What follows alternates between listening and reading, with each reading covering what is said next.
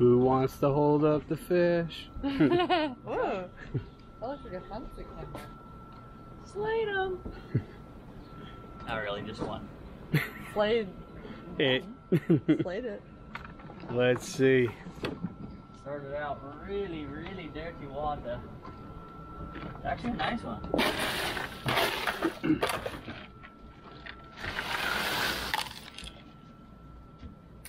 The elusive checkered grouper. Whoa. You changed colors. Right? Really weird. It's a beautiful one.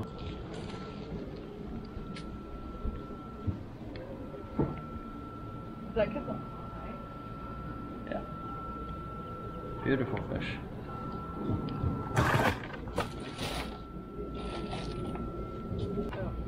Who shot it?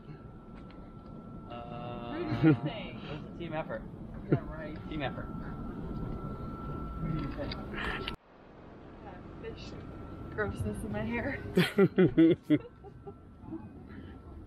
Oh wow. That was perfect. oh, that was perfect.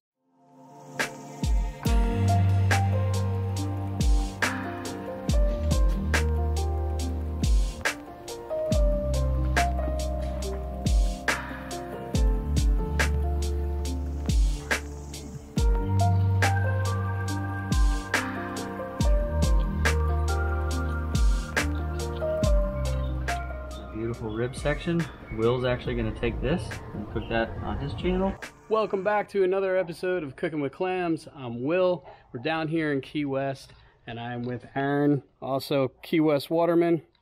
So, one of the things about living with Aaron, every day is like Christmas, meaning I get one or two messages. One message is, Hey, want to go on the boat? I'm going to go shoot some stuff or fish for something. That's a great morning. Or the mornings that he goes on the boat, I get the text, Hey, I just caught this. Do you want anything from it? So today, he nailed, what is that, about 20 pounds? 20 pound black grouper, yeah. 20 pound black grouper. Um, season is right now, they have to be 22 inches? Four inches. 24 inches. Um, he was diving in about 70 feet today, so well out of my wheelhouse anyway. Um, but, so a fish that big, the ribs on it, I've done it in another episode, but this time we're to do kind of Chinese style ribs. Um, if you ever get them from Chinese takeout and they have that weird red color, I'll explain that later, but we're to try to mimic that with a brine and then smoke them and we're to get them as close to Chinese ribs as possible. But check these out.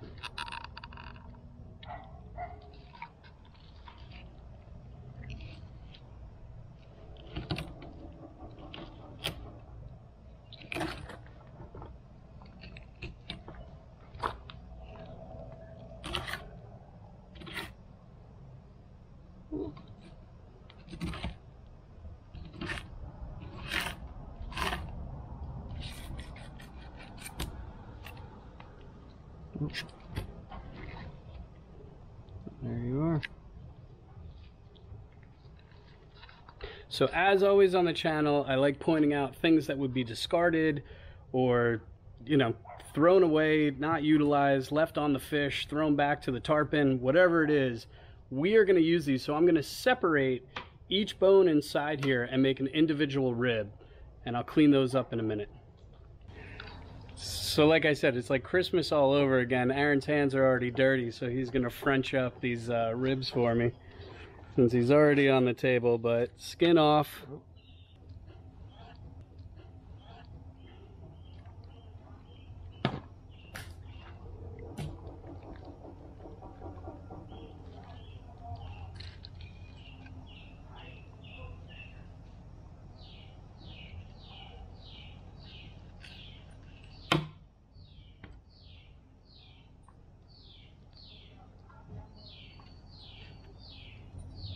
You want them individual, right? Yep. Boneless spare grouper. oh. Why is that one so short? That's a short rib. that was a layup. Short rib. That was a good one.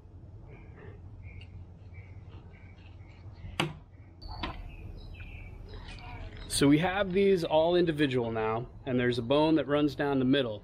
And that bone is actually gonna help keep these moist, but there's so much fat in the belly meat, it's not gonna need much. And we're gonna brine them and then smoke them, so they're not gonna get dried out. And then we're gonna pan sear them. So these should be really fantastic by the time we're done with them. So if you've ever had Chinese ribs, spare ribs from Chinese takeout, it has that unnatural red color. Most of the time, yes, it's just food dye, but where that comes from is actually the color red in Chinese culture is a very auspicious, lucky color. So they dye things red for like anniversaries, birthdays, or whatever. Um, what it originally was was fermented red rice. And now we can't get that down here. so they ground it up and they would roll it on the meat and that would lend the red color to the meat. But what I can get down here is actually annatto, also known as achote. Achote grows down in tropical climates, so the Caribbean, think South America, and it's the seeds, and it has a little bit of a sweet, kind of sweet, nutty flavor to it.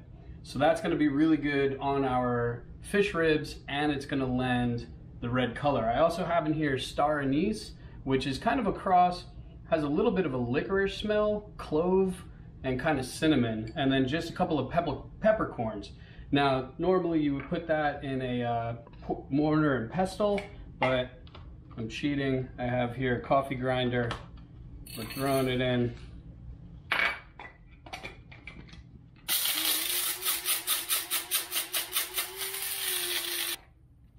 Grind that up. And we're putting that right onto our ribs.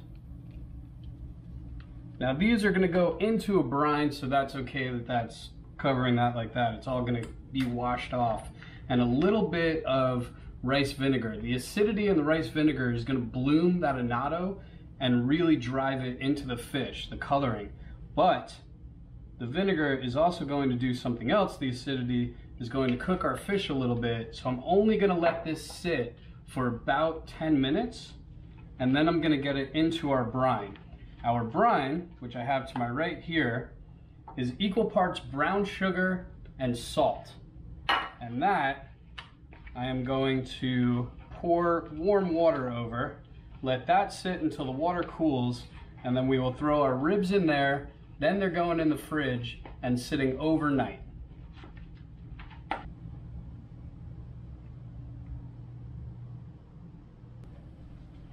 So this was water that was brought up to a boil. Right now it's just a little bit above room temperature. It's warm just to dissolve that uh, salt and sugar.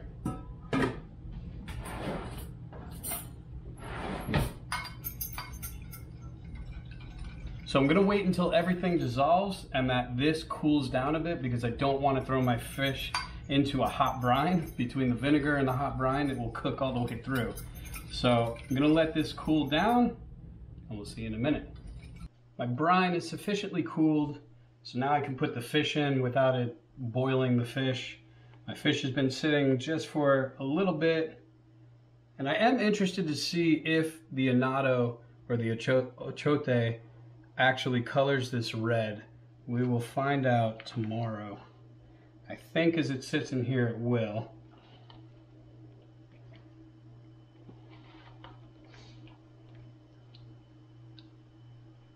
I'm gonna throw a lid on that, throw it in the fridge, and I'll see you tomorrow morning.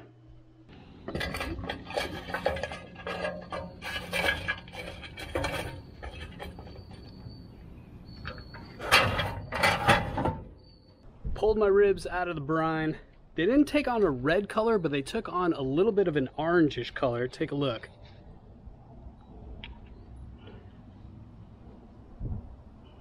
And that's another good thing to do when you're smoking fish is uh, take it out of the brine, put it on a rack and put it in the fridge and actually let it dry. What that does, I believe it's called a pellicle. Um, it develops a little bit of a sticky surface on top, and that helps the smoke stick to the fish. Um, someone taught me that a while ago, and it's a really good little trick. Now, the other thing we're going to throw into the smoker is we're going to make a sauce to glaze on top about halfway through. And what I have here is brown sugar, garlic salt, onion powder, paprika, and then that's just butter and chili paste. Now when that heats up and liquefies, we'll mix that up and then we will spread it on top of our ribs.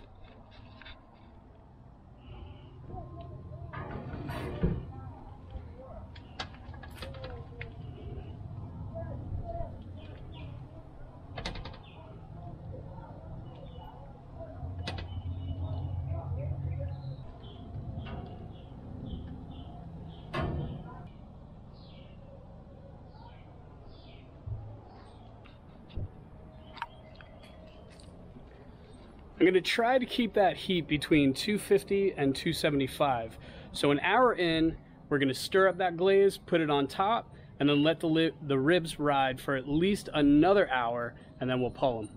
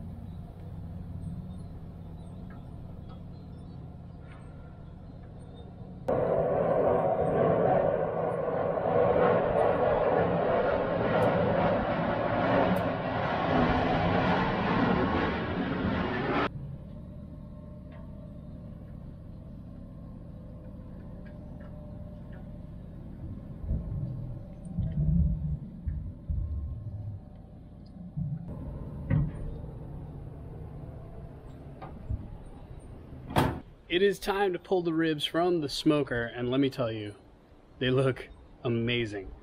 Check this out.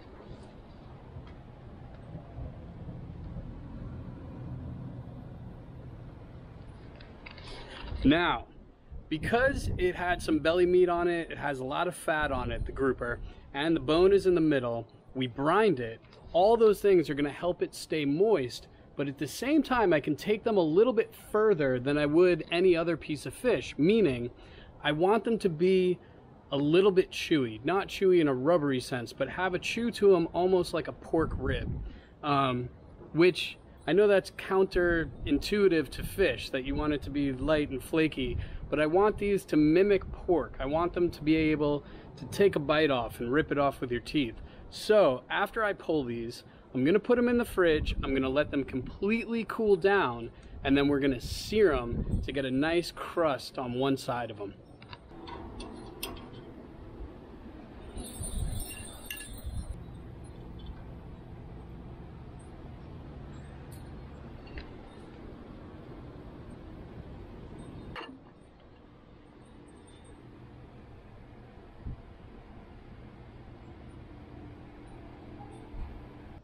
I got my skillet warmed up to uh, medium low heat because with all the brown sugar in there, I think these are gonna brown, blacken actually pretty quickly. I want a little bit of char on one side. So we're gonna test one out.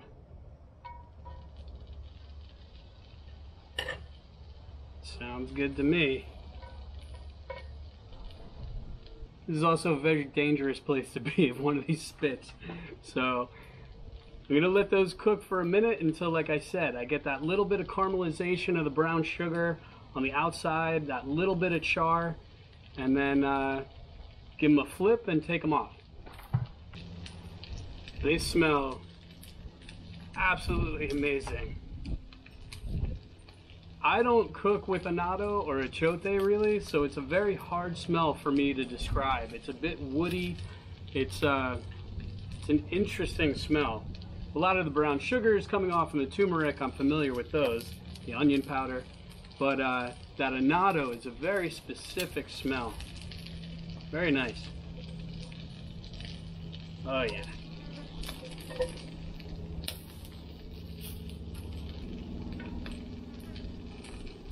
That is what I want. That is perfect. I'm only gonna do one side actually. Get those going and then take them off and put another batch on.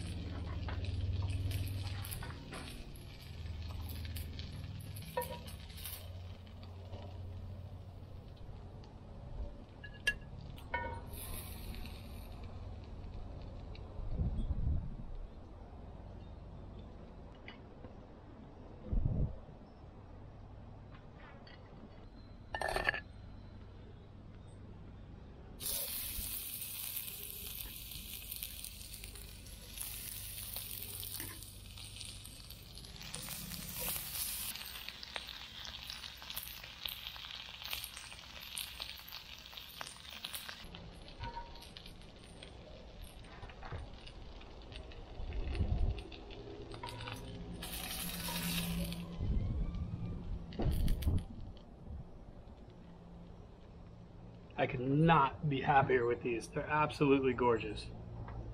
I'm gonna chop up some scallions, put those on top, and I have a little bit of Chinese mustard on the side here. And then we're ready to eat.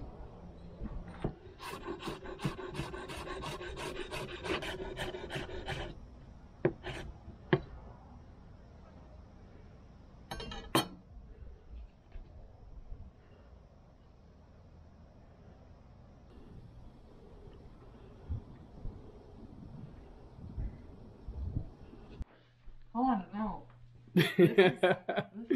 All right, we brought I brought him upstairs. I'm excited. At this point, you should know Aaron and Madeleine. This is a very sexy presentation, This by is the way. like what an awful life. so do I just eat the whole thing? yeah, get in I'm there. going There's no, without like- There's a bone in the middle. Oh, okay. Yeah. Yeah, Ma- Madeleine needs that disclaimer. Yes. Because I'm going in. What is this sauce? That's just mustard, Chinese mustard. So they were supposed to be like Chinese ribs, but Wow. they're kind of just like regular ribs. Oh my. So Whoa. Oh my god. visually doesn't make sense when you're eating it. This is weird. It has like, in a definitely has way. like it, it almost tastes like you grilled it. You can taste the smoke. Mm, Wow. this is really good. Hold on, I'm processing. I love the crunchy char. Mm. Ah. You literally can taste the char. The char Yeah. is like very noticeable. I think I think the char was key because I just I really wanted them to mimic a The char makes it Gummy. not. The char makes it not taste like fish almost. Yeah. That's what. That's thro- what- that's what throws you off. I wanted them to be a bit porky. Mm-hmm. All right, I'm going in. Wow, wow, wow, wow, wow, wow. These are really good. Ooh. Hold on, you haven't had it Dude. yet? Mm-mm. Oh my god, that crunch is to die for. That's what I'm saying. It's like that's a hard thing to do on a fish. To get It's- that. it's that, It's like, tripping my mind that this is It's fish. the brown sugar. So it's the it's the marinade and it's the uh, the brine that we put it in. But I mean, if you can see that, they are juicy. Like I smoked those for two hours. you know, and then you can see sear they, like, them. still shimmer. Yeah, and it also I put a lot of butter on them. Mm, favorite. The way. All right, we're gonna smash this plate of food, guys. If you like the episode, hit like, hit subscribe, and I'll see you on the next one.